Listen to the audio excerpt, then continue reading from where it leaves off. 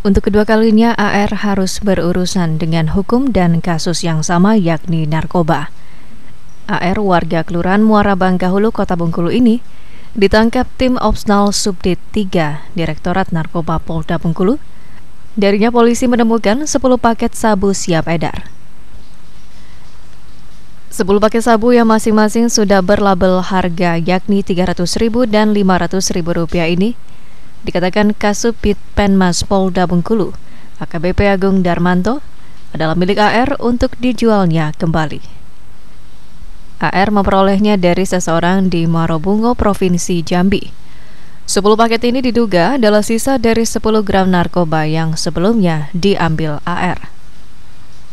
Kasubdit 3 Dit Narkoba Polda Bengkulu, Kompol Mandogi Simaremare menjelaskan, AR yang sehari-harinya berbisnis bibit ikan lele ini ditangkap berkat informasi masyarakat yang menyebutkan AR diduga masih menggeluti narkoba dan terlibat diduga jaringan lintas daerah. Dari itulah AR kemudian ditangkap.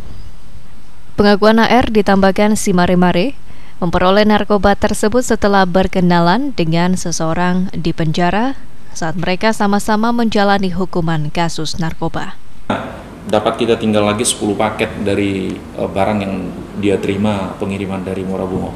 Pengakuannya berapa total? Dia pesan barang. Dia pesan barang. Uh, dari sana dia pesan barang, uh, pengakuannya satu satu kantong. Satu kantong itu kalau istilah sebutan mereka tuh 10 gram sekali pesan.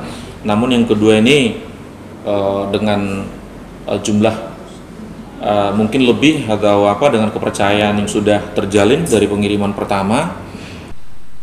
Tuduhan polisi ini tidak dimampik AR yang mengakui sudah dua kali membeli sabu di Muarobungo, Provinsi Jambi dan dijual di Bengkulu. Namun kedua kalinya ia apes dan ditangkap.